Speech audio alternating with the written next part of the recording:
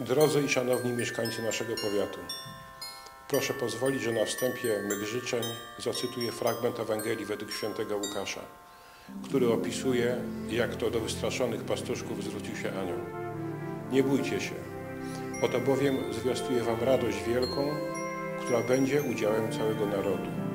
Oto bowiem w mieście Dawidowym rodzi, narodzi się wam Zbawiciel, którym jest Mesjasz Pan.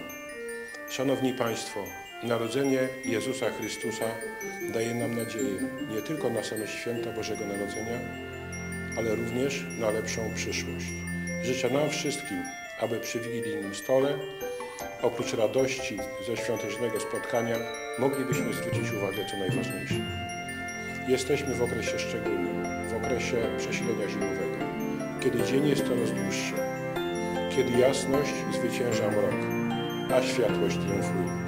Szanowni Państwo, życzę Państwu zdrowych, wesołych świąt Bożego Narodzenia oraz na nowy, nadchodzący 2023 rok wszelkiej pomyślności.